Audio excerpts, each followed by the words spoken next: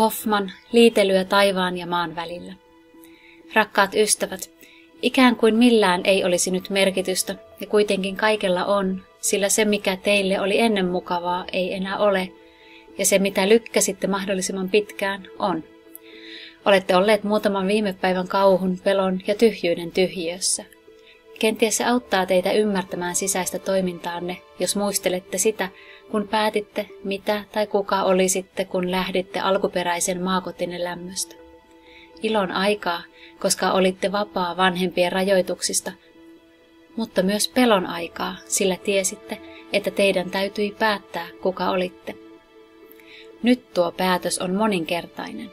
Nimittäin lähtiessäni maakodista vaihtoehtonne olivat rajalliset, koulu, työ, leikki vai matkustus. Ja kun olitte tehneet tuon päätöksen, tiesitte, että voisitte muuttaa polkuanne, kuten monet tekevät. Erona on nyt, että olette vielä tietämätön vaihtoehdoistanne, sillä ne ovat harsomaisia unelmia mahdollisuuksista, mutta eivät mitään konkreettista, kuten 3D-elämässänne.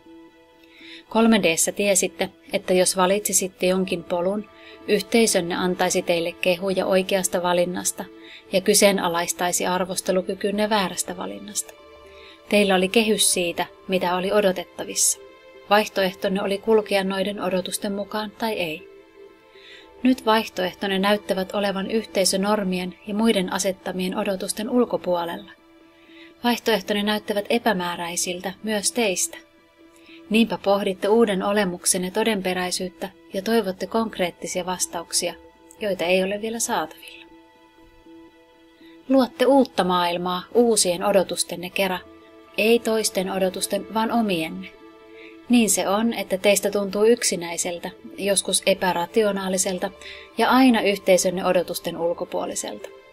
Jos luotte iloisemman elämän itsellenne, toiset kehuvat teitä, ehkä. Mutta sitten toisaalta heidän määritelmänsä ilosta ei sovi enää yksin omanne kanssa. Niin teistä tuntuu siltä, että olette vailla tukea, eikä kukaan ole pehmentämässä odotettavissa olevaa tippumistanne kielekkeeltä.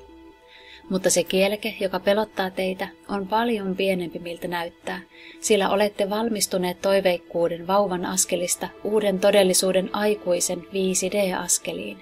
Ja pian sopeudutte siihen, että te ette saa yhteisön kehuja tai edes välitä siitä.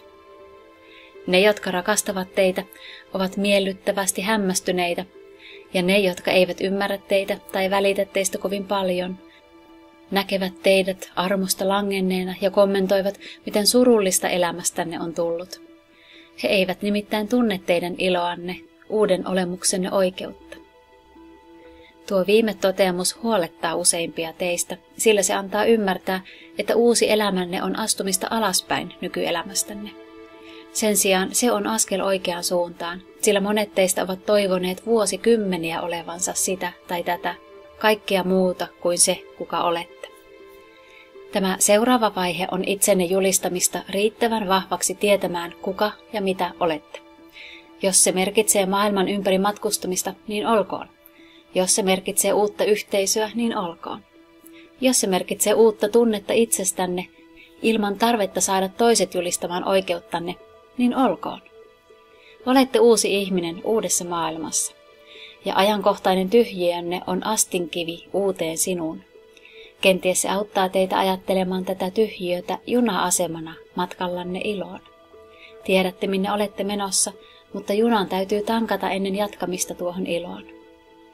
Ette ole enää heikko ihminen, joka toivoo, että universumi antaa teille oikeaa informaatiota tai luomakunta tekee elämästänne iloista. Olette jättäneet universaalin elämänne turvaverkon luodaksenne elämän, joka on oikea teille tässä ja nyt. Tietäen epäilemättä, että voitte muuttaa suuntaa millisekunnissa, jos haluatte. Teidät on työnnetty ulos universaalista pesästä luodaksenne uuden elämän itsellenne. Kerroimme teille viikkoja sitten, että universumit eivät enää antaneet teille sellaista informaatiota, joka on mukavaa teille, sillä loitte elämää nykyisten universaalien ulottuvuuksien ulkopuolella. Tuo uusi paikka on käytännössä luomissuunta, jota yksikään universaali olento ei ole koskaan ennen kokeillut. Niin se on, että muutatte universumeja, kuten myös maata ja itseänne. Luomuksenne ovat yksilöityneet teidän iloanne varten, ei universumien, yhteisönne, perheenne tai ystävienne iloa varten. Olette todella ainutlaatuinen yksilö, jolla on enemmän taitoja kuin tiedätte nyt. Tässä tyhjiössä keräätte energioitanne, ikään kuin lietsotte uskomuksianne ja hyväksytte, että olette voimakkaampi kuin maan olennot tai taivaat. Tietysti voitte pyytää apua universumeilta itsenne ymmärtämisessä, mutta emme voi sanella suuntaanne tai lopputuloksianne, sillä ne ovat teidän lopputuloksianne, eivät meidän. Yhtään sen enempää kuin vanhemmat, jotka lopettivat koulunsa seitsemännelle luokalle, pystyvät täysin ymmärtämään sitä asemaa, jonka heidän lapsensa ottaa vastaan suoritettuaan filosofian tohtorin arvon taloustieteessä.